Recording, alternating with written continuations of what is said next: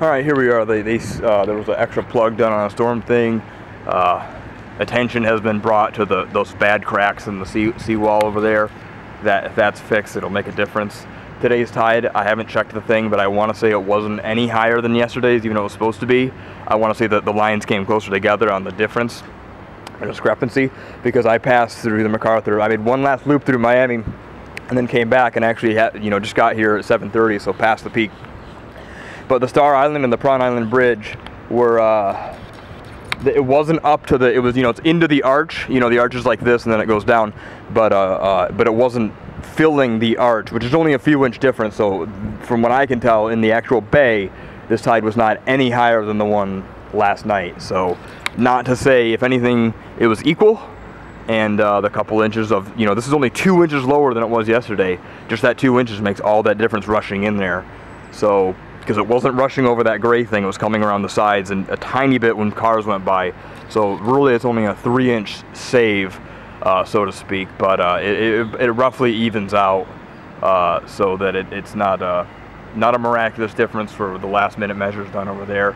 And higher tides are coming, uh, bar a change. The winds are supposed to switch even more easterly now for the next few days. Not strong, but definite easterly, not, you know, westerly offshore winds.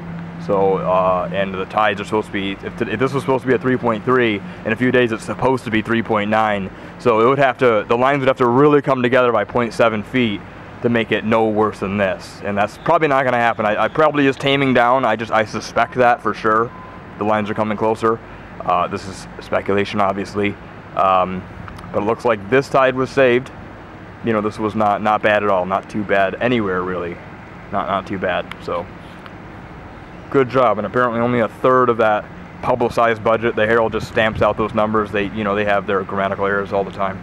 Uh, the big 500 million thing, apparently it, it, might not be, not that much has been spent for sure so far, and there's already way results. I mean, we're sensationalizing here, to be honest, this building, this Sunshine Bay 1441 Lincoln Court, whatever. You know, this is the garage that flooded. The garage over there still didn't flood, the one on uh, Bay Road. So uh, the rest of the beach has stay dry. Minor things, mid-beach on Alton Road, minor the ends of driveways into the edge of the road, nothing serious. Even Brickell over the curbs, but not not into anybody's carriage of their vehicle. So the 36th Street building was fine. I was there just past peak, uh, an inch on the on the floor, but uh, seemed to be steady. So yeah, no, no big news this morning.